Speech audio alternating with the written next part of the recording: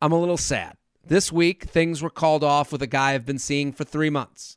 We're both 25. We met on Hinge and live an hour and a half apart. I'd I'd become a Scrooge of the apps, and it, I'd be I've become a Scrooge of the apps, uh, and admittedly, I was the worst on them and hardly responded to guys. I don't want to over romanticize the situation. It probably was just a fluke, but this man caught my attention. Because of where we lived, I initially didn't expect us to make it this far or even past a date or two. We talked every day, and I quickly became used to always waking up to a good morning text from him for three months straight. I felt like things were going really well despite the challenge of the distance. We have a ton in common and enjoy the same activities, and we were looking forward to skiing slash snowboarding together this season. At the start of us talking, we both lived with our parents. December 1st, I moved into my own place with my dog. I have a decent job that I started in August, and I'm pretty independent. I've actually been working on not being too independent and knowing that it is okay to need other people. He just graduated with his bachelor's degree and is applying to grad school, aiming to start fall of 2022. Last week, he came up to my place, and from my perspective, everything felt great. We went out to dinner, and conversation was as easy as usual. Walked around downtown, watched a movie, had sex. When he left, he kissed me and said, I love kissing you. I'll see you soon. Okay, now for the screenshots of how things ended. I mean, we went from I'll, I'll see you soon to how things ended. Okay, now the screenshots of ended with him claiming that he needs to focus on himself. I don't know if I even have a question or if I just need a J Train pep talk or tough love. I'm just so baffled by the whole thing and feel more heartbroken than I'd like to admit for something that was never even official. Are things that he's saying legitimate or just excuses? I remember having a post graduation, what now quarter life crisis myself, so I'm trying to be empathetic, but it's hard. These messages make things seem pet, uh, pretty final, and it's just abrupt for me. Any wisdom you can offer would be appreciated. So, you, you ready to read these, Yamaneika? Yeah, who do you want me to be? I'll be him, you be her. You ready? Okay. Ah, you said you're getting your new ski boots. Uh, your new new boots, not. Sk- Let me start again. Ah, you said you're getting new boots, not skis, lol. And we lost two to one, but I was pretty drunk and still scored. Yes, smiley face. I just haven't treated myself to those yet. Laughing emoji. I want to come back to Margaret. Is it Margaret? Marquette. Marquette, Marquette later. Yeah, we'll blank that out. Let's we'll blank out the areas. Uh, yeah. Oh, sorry. That's okay. Start over again. No, no, go ahead. I want to come back to blank later in the season when more of the mountain is open. that counts for something. Uh, laughing emoji. Glad you had fun. Kissy face emoji. Good and morning. I don't yeah. know what emoji that is. Yeah, it's like I don't know what that is. Yeah, it kind of sucks that everywhere around doesn't have much open. And yes, it does. And morning upside down smiley face. I agree. So I feel really lame even asking this, but is everything all right? Maybe it's my perception, but I just feel like you've been shorter with me the past few days. And to be honest, it was making me a little uneasy. So I wanted to get that off my chest. no, your intuition is spot on. I mean, right away, it's like, nailed it. I've been weird. No, your intuition is spot on. I've been kind of distancing myself a little bit, just with looking forward at the next chapter of my life with grad school on the horizon, which I'm looking mostly in a different, which I, I, which I'm looking mostly in a different states because I want to get out of blank. I just don't think getting into a relationship is my best choice right now because I've done long distance in my past and I wasn't a fan of it at all. I just need to take this time for myself and focus my energy and effort on myself. I've never been truly selfish my entire life, but I feel uh, I felt like I needed to do this for myself. It's nothing against you at all. You're an amazing person and have such a kind heart and good soul. I mean, did he spell soul like the yes, shoe sole? Okay. Yes, I've, I've never. Re- I've, I I've really. Where school he going to? I've really enjoyed your companionship, and I just want to be honest with what I've been thinking about.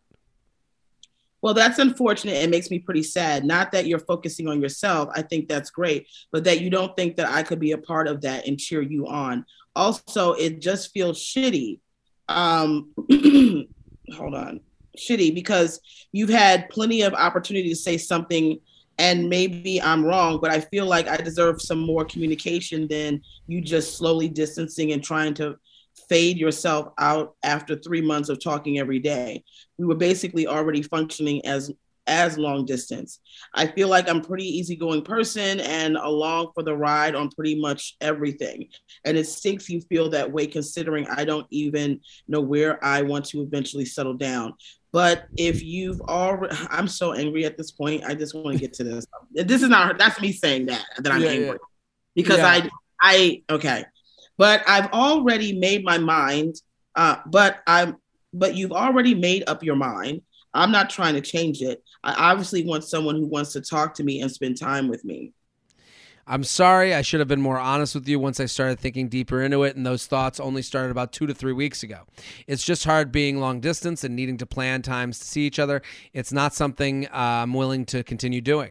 You deserve someone that will give you that also, but at this current moment in my life, I don't think that is me because I have uh, my sights elsewhere with life goals.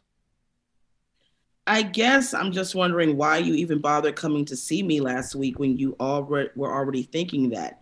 You're right though. It definitely isn't easy having to plan time to see each other when there's distance. It takes me time to open up fully and like I said, I am sad, but I don't regret this time either. I came to see you because I really do enjoy spending time with you, and we have a lot in common, and it takes me time to open up fully as well. And I don't regret it either, besides not telling you sooner what I was feeling. Yeah, it seems like it was really easy for a while, and I loved how much we have in common. I'll definitely miss talking to you every day. I think you're a pretty genuine man. and have a lot of the traits I was looking for in someone. I felt the same way that you have. Uh, that you have a lot of traits I was looking for, and I will miss talking with you as well. Thank you for the compliment. I think you're a wonderful woman that says what she thinks, uh, and is always looking at things half full and positive. Thank you for being so kind and warm-hearted. Okay, Yamaneika, what do we think? What's our what's our talk with this person? How do you feel? I mean, I have some thoughts on what went on here, but I'll I'll give this the floor to you. Um, I think it's. I'm going to talk to her, but I'm going to talk to talking to everybody, uh, mm. especially women, and especially I'm also talking to myself. The problem is that women don't. A, a lot of women don't put value into who they are. If you're putting value into who you are, then you know, like. if I have if if if I have a Tiffany's ring, right? Mm. And I'm wearing that Tiffany's ring, and somebody goes, "Oh, can I see that Tiffany's ring? Can I hold it?" You go, "No, no, this is my Tiffany's ring. I can't. I wouldn't just give it to you. I don't know you. I don't trust you, right? It's something that I hold sacred. I only let a few people. We remember this as kids when we had like a toy that we really liked.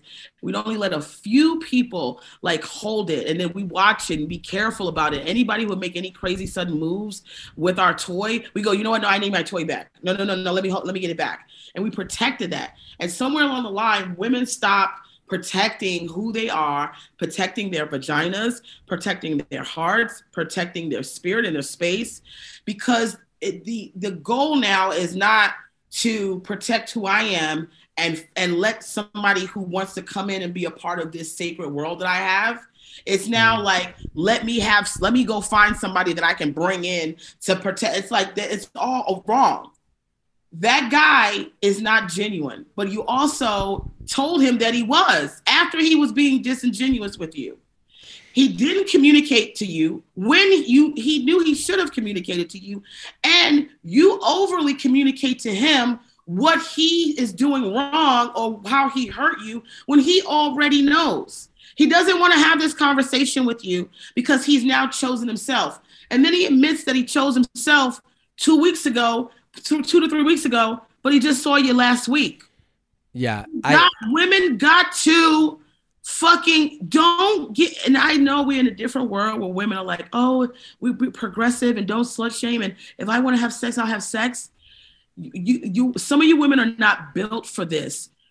Do not let a man penetrate your soul, psyche, or fucking vagina until he has made some level of commitment to you that has showed that he is there. That way, even if he turns around and becomes a fuck nugget, hmm. he you at least have done all the due diligence for yourself to protect yourself.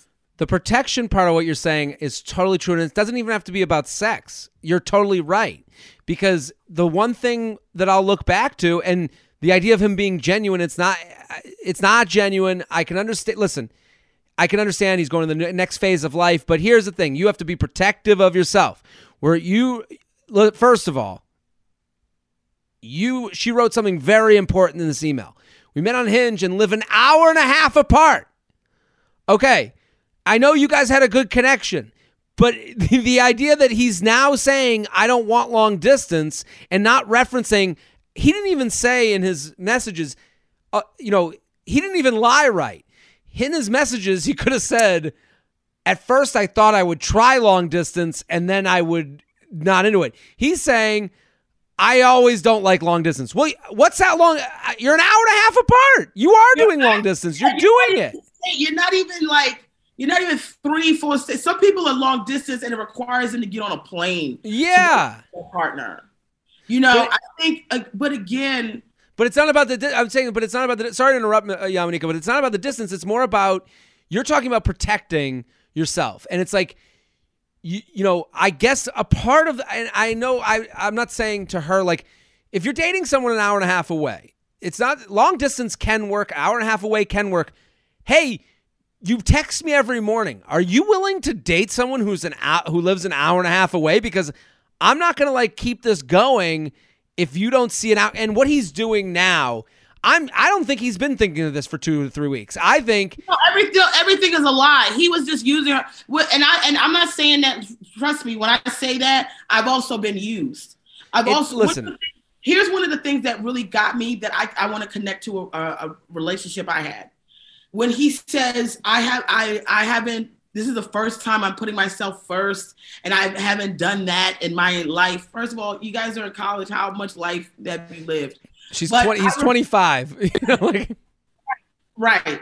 So what I what I understand is I was in a relationship with someone and this person the entire time I was with them for they had they worked off and on or barely worked and mm. some of the conversation was like not even that I, I didn't need anybody to take care of me but i but i did want a partner where it's like you know sometimes when we go out i don't want to be the one footing the bill but mm-hmm. like you're not you're not really working anywhere so how can we expect you to ever contribute to us going out and having a good time unless you hit a windfall real quick on something and i remember him always saying to me like before i got with you i worked straight through i worked hard for 10 months saving up money paying child support and it was just like and i would let him gaslight me with that and go oh you know well he did work really hard for 10 months Mm. Who gives a fuck if he worked hard for 10 months? He didn't work hard for 10 months with me.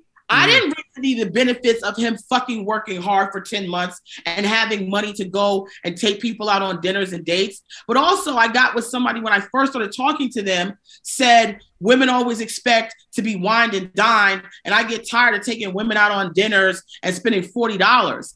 That's when I should have known this is not the nigga for me. Because a nigga, you think spending $40 is a lot of money? Where are you taking these bitches? The IHOP? Like, I'm the type of bitch that's in a bracket where nigga can should be. I go to dinner and dinner, if it's one of two people, we talk about 355 minimum sometimes. Yeah. You're complaining, and I'm not saying that as a brag. What I'm saying is, if women take an assessment of what men are saying and check it, let me stop saying women because I know men listen to, and I don't want to make this a man mm-hmm. woman thing. But I think women have more of a problem understanding because of the way women are conditioned in society. And I've also said this about, I just said this to a group of Black women because Black women have constantly been expected to expect less from black men. We've been because we're constantly going, oh, you got to hold black men down. You got to be their peace. You know, they go through a lot of racism. You got to love them through all of that, as if black women are not ex- also experiencing the same level of inconvenience because of race that black men are experiencing. Mm. We are constantly told to self-sacrifice who we are because we got to be there for black men, and nobody's saying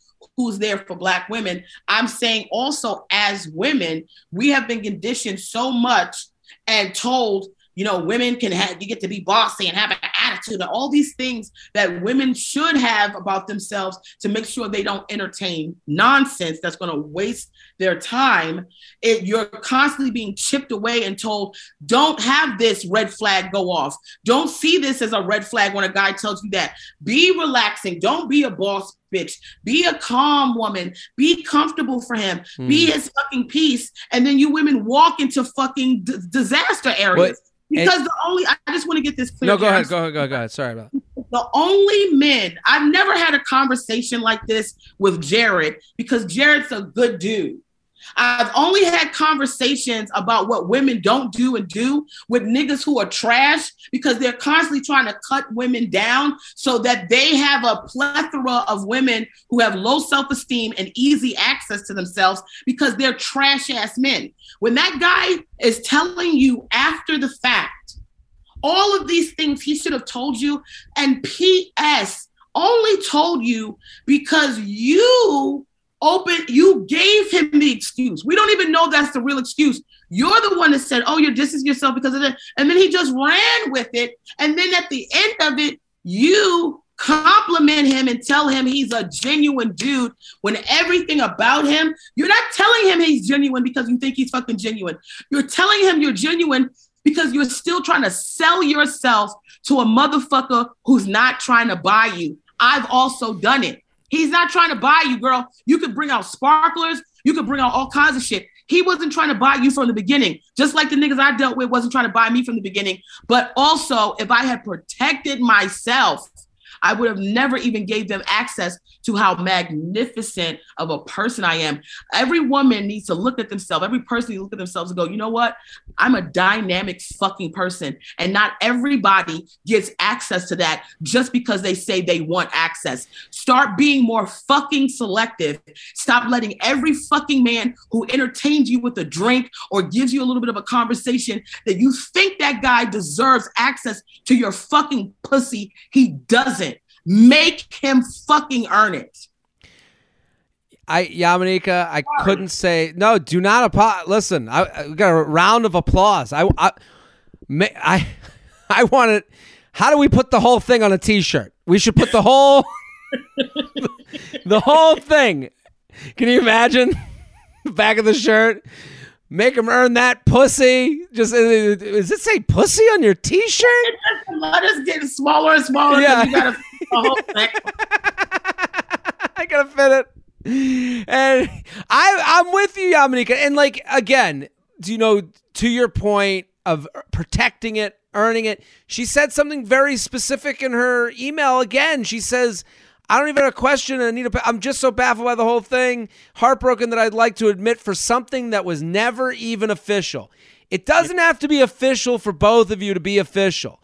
It was official yeah. for you. And the biggest uh, I, I, don't I hate to call this a mistake because we all do it is we don't admit to that. She never and, and that's protection. When you go, I'm you're the best. I never meet guys on dating apps. You're the only one I've ever met. You I'm in a relationship with you. I'm in a relationship with you. And I, you know, listen, I'm, I'm, I'm, I'm driving these hour and a half. I'm, you're coming to my place. We're going skiing. This is great. And let that scare the guy away because let him make, make you have to put people in a position to make them think because guys break up as they see the trouble coming. I think women break up when they see all the trouble that's been in the rearview mirror. Mm-hmm. They tr- women try and try again, and then they go, "I can't keep fucking trying. I'm out." Guys see, I'm gonna have to try. Uh uh-uh. uh Right. Hey, I've been thinking right. about this for two to three weeks and whatever. I think he saw uh, in the he he looked ahead and you're sitting there trying to looking behind going, Hey, I'm trying to work on this. What's going on? And he's going, You're exactly right. And he. That doesn't communicate And and the thing about it is there is it's something I had to learn and it's it's it hurt. It hurts. You when you in my last situation, my last breakup, I looked at the woman that came after me mm. and how nice she seemed and sweet and and and all of these things and I kept going I'm not that and I'm I'm a bitch like he says and I'm mean and I'm and I'm this. And and I go she is a person that he is doing all these things I asked him to do for me he did for her. And I think we have to also be very cautious of that because this guy is a dick my mm-hmm. last situation was a dick, and I and not just him. I've dealt with some guys who were dicks, and I've also been a dick at some point. Mm-hmm. People don't change, so I don't want this girl to get kind of get caught up in like, oh, was it me? What, what, what could I do? Because the same guy that he is, he's going to continue to be that to every woman, even if there's a woman that he finally goes, you know what? I'm gonna try to do. I'm gonna settle and do that is a personality fault of his that he has brought from his childhood where he never thought about himself and never put himself first. Don't forget to like the video you just watched. I have many more. Subscribe to the channel right now. Like and subscribe, like and subscribe, like and subscribe, you fool. There's even a bell you can click to. Now you've got your week set Monday through Friday. I'm here for you.